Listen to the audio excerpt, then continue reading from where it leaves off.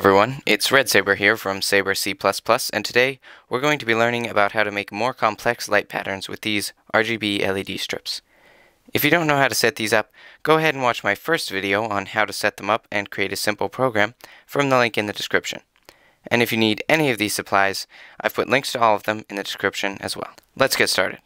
As you can see, I've opened up the sketch we created in the last video, which sets all of the LEDs in the strip to red, then switches to purple, and then to blue-green, and keeps doing that for as long as the program is on. I'll start by deleting everything in the loop function, but I'll leave everything in the setup function and above that. So we still have our LED strip set up, but we can adjust what we're actually doing with it. First, let's take a look at one of the functions built into the Fast LED library called Fill Rainbow. This basically just goes through the LEDs on the strip and changes their colors so each one has a different color, like a rainbow. To use it, we can type Fill Rainbow, and add our array of LEDs. Then the number of LEDs we want to fill. In this case, I'll just do all of the LEDs. And then the LED to start, which will be 0.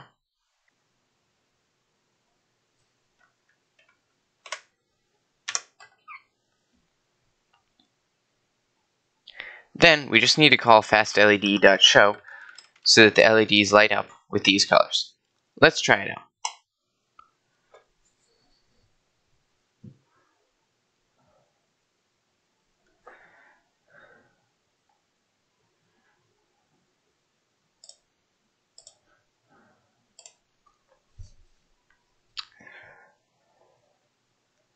Alright, let's clear out this code and start again.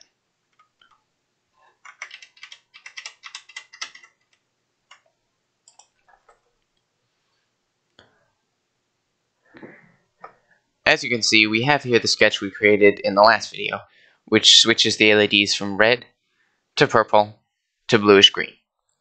I'll just go ahead and delete everything in the loop function so we can start a new program. But I'll leave everything in the setup function and above so that we still have our LEDs prepared, we just aren't doing anything with them yet. First, let's take a look at one of the functions built into the Fast LED library, which is called Fill Rainbow. First, we'll add the array of LEDs, then the number of LEDs that we want to light up with our rainbow, which in this case will be all of them, and then the LED to start on, which in this case will be 0. That's the first LED. This function will start with the first LED and it'll make it red. Then it'll move through each LED after that and make it a slightly different color to give the LED strip a rainbow effect. Now, we just need to type fastled.show to light up all of the LEDs on the strip. Let's try it out. And now we have a nice rainbow, starting at red and going through all of the other colors until it gets to the end of the strip. Let's try something a little bit more dynamic, where the LEDs actually change color over time. Alright, let's clear out this code and start a new program here in the loop function. The first thing I'm going to do is create an array of integers, which I'll call RGB color, and I'll make it three long, one for red, one for green, and one for blue. I'll start out by initializing these colors, setting the red value, which is the zeroth value, to 255, so it's fully on, and setting the other two values, green and blue, to zero. So this will just give us a nice red color. The reason that we're doing this as an array and not as a CRGB object like we have up here is because we'll need to increase and decrease these components separately, and the CRGB object doesn't support that. So what we're trying to do here is have our whole LED strip fade through all of the different colors possible. So it'll start out as red, and then it'll fade through orange and yellow into green, and then it'll fade through a greenish blue into blue, and then it'll fade through purple and back into red.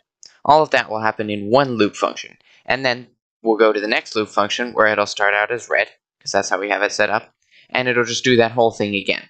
So we'll just see it looping through the colors over and over again. Now, in order to actually create this effect, what we need to do is slowly decrease one of the colors, in this case red, as we increase another color. In this case, for the first loop, it'll be green. So we'll start out by decreasing the red from 255 down to 0, and at the same time increasing the green from 0 up to 255. This will give us a nice shift from red through to orange, yellow, and then green. Then we'll do the same thing, going from green to blue, and then finally from blue to red.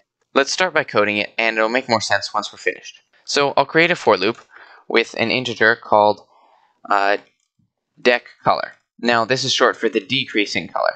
So we'll start it out as 0 and we'll increase it up until it's uh, 2.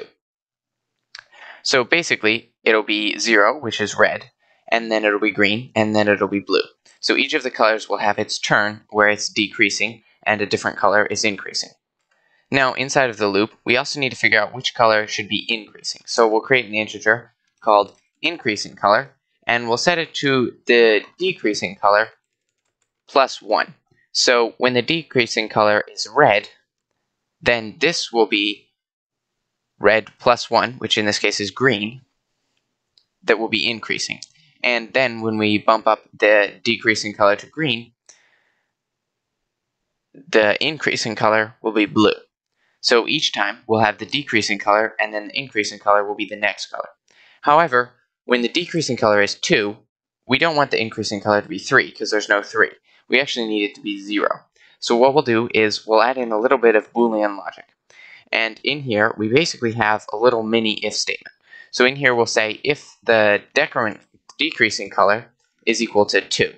So here we have this sort of little if statement, and then we'll put a question mark, and then the true condition. So if it's true that the decreasing color is equal to 2, then that means that we actually want to increase the 0 color, which is red. However, if it's not true that the decrease in color is equal to 2, so if the decrease in color is equal to 0 or 1, then we'll simply set the increase in color to the decrease in color plus 1. Now that we know which color should be decreasing and which color should be increasing, we actually need to decrease and increase them. So I'll create another for loop with an integer, we'll just call it i, and it'll start out as 0, and we'll continue, as long as it's less than 255, increasing it by 1 each time. So now we'll get our decreasing color from the RGB color, and we'll go ahead and subtract 1 from it. So in the first loop, this decreasing color will be 0, so we'll be decreasing the red 1 each time. So the red color will go from 255 all the way down to 0. And we also need to increase the increasing color, so we'll simply add 1 to it each time. So in the first loop, the red will be pulled all the way down to 0, and the green will be pushed all the way up to 255. And this will be happening at the same time to give us a nice fade effect. So now we have all the proper colors in our RGB color array on each loop and we just need to show them on all of the LEDs on our strip. So yep, that means another for loop. We'll create one with an integer called LED, and we'll go from 0 all the way up until the number of LEDs. Once again, increasing it by 1 each time. So in here, all we're doing is getting one of the LEDs from our LED array and setting it to the color that we just figured out.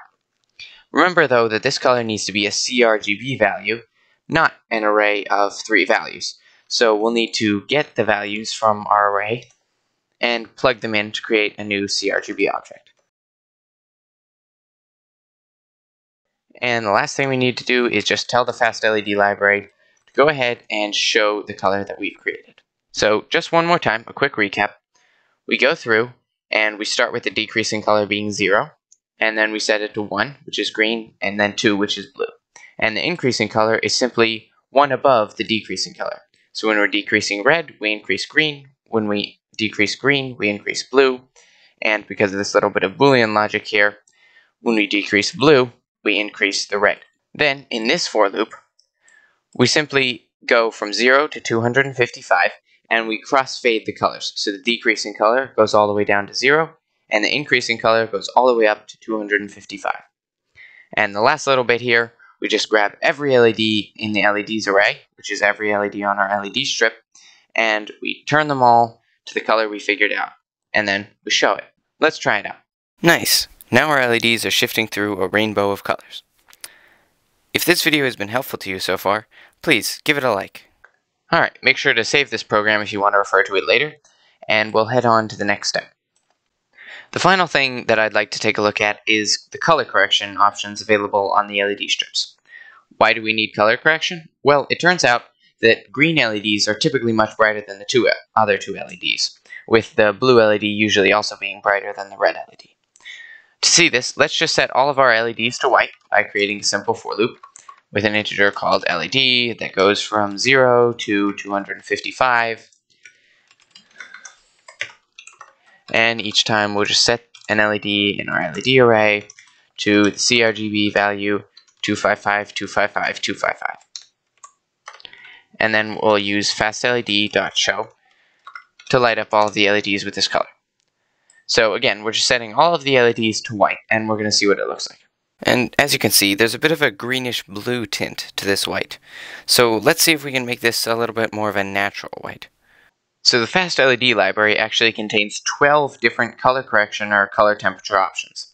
To set the color correction, we'll simply run the function fastled.setCorrection. And inside of it, we'll simply put one of the correction bits. Uh, let's try out uh, clear blue sky.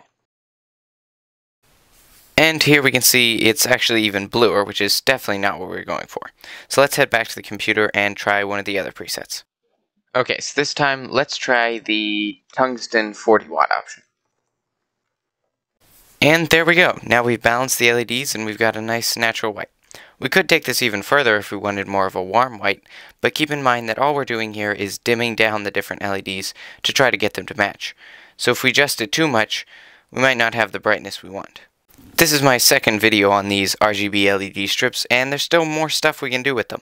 If you'd like to see some light patterns, or you have an idea of what I could do with them, drop a comment below and let me know. Or, if you'd like to learn about some other Arduino sensors and modules, check out my channel, Saber C++.